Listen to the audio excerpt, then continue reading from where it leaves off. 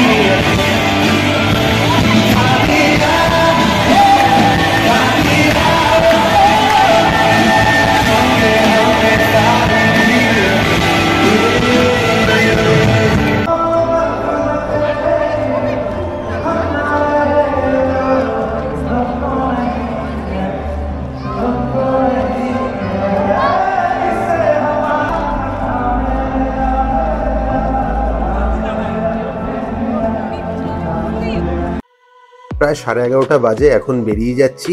সেই সাতটা চল্লিশ থেকে টানা গাইলো, একটুও কোথাও এনার্জি লস দেখলাম না। খুবই ভালো, দারুণ পারফরমেন্স অনেক দিনের ইচ্ছা ছিল। কলকাতায় থাকাকালীন কখনো দেখার সৌভাগ্য হয়নি, অবশেষে চেন্নাইতে এসে সেই সৌভাগ্যটা হলো। ভিডিওটা কেমন লাগল অবশ্যই জানাবেন। পরবর্তী ভিডিওতে আবার দেখা হচ্ছে। ততক্ষণের জন্য গুড নাইট ধন্যবাদ, সুস্থ থাকবেন।